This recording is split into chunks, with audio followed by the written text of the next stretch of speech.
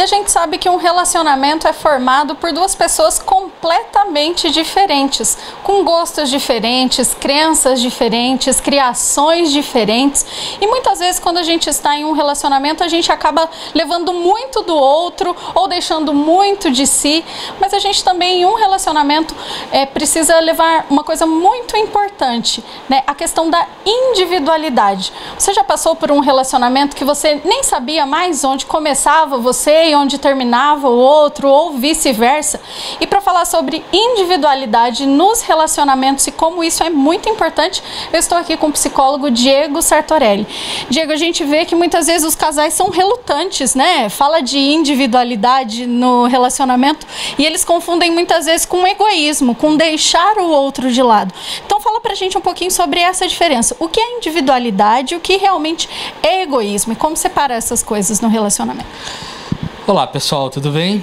É, o relacionamento é feito de duas pessoas diferentes, como você acabou de dizer, se esforçando para pertencer um ao mundo do outro.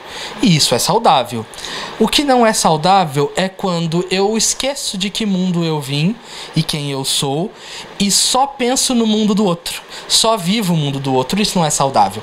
Quando eu me abandono para pertencer ao outro, né? Quando eu já não vivo mais quem eu sou, isso não é saudável. O saudável é ter sim momentos de comunhão juntos, momentos de intenso prazer, seja na vida sexual ou em qualquer outra atividade. Mas lembrando que eu sou uma pessoa única, que posso desfrutar daquilo que eu gosto, mesmo que o outro não goste, porque relacionamento é sobre isso, a gente não vai concordar em tudo. E que bom, é impossível ser tudo igual. Isso também não é saudável, né? Na verdade acaba sendo quase que doentio vivermos fechados no nosso mundo e já não somos mais do mundo de ninguém. É saudável que eu descubra quem eu sou, o que eu gosto, aquilo que me dá prazer, na companhia do outro, na minha própria companhia, entendendo que eu preciso de um tempo para mim, sim. Em qualquer atividade que você faça, num esporte, numa ida ao salão de, de beleza, ou qualquer outra atividade. A minha esposa, sempre ri, né? Que eu sempre dou exemplos nossos nas entrevistas ou na minha rede social. E aconteceu uma situação esses dias que a gente precisava ir ao mercado. E eu tava cansado. E ela, não, amor, vou com você. Falei, amor, dá um, tempinho pra mim. eu queria, pessoal, simplesmente chegar no supermercado, fazer minha compra com meu fone de ouvido, curtindo a minha música. Não é que eu não queria a presença da minha esposa, que eu não tenho prazer na presença dela. Pelo contrário, eu simplesmente queria desfrutar de um tempo meu pra mim, desfrutando da música que eu tô sem tempo para parar para ouvir as músicas que eu gosto e que nem sempre ela vai gostar de ouvir.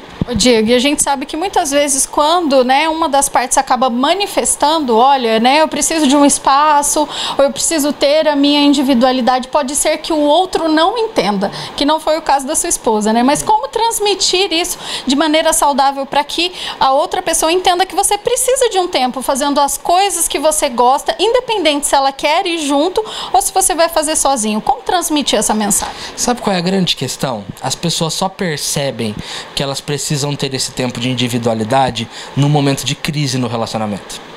E aí o outro entende que você está querendo se divorciar, que você está querendo desistir do relacionamento, teme ou teme ou então agride de volta, né? E aí é um acusando o outro daquilo que não fez. Você não tem sua individualidade porque eu não posso nem sair para jogar meu futebol. Você não vai sair com as suas amigas porque eu não posso nem sair para tomar um chopp com os meus amigos.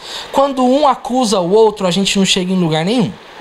Então, a principal, eh, o principal entendimento que a gente precisa ter é dizer para o outro como eu me sinto e qual é a minha necessidade. Mais uma vez, a gente precisa entender que não é sobre o outro, é sobre mim.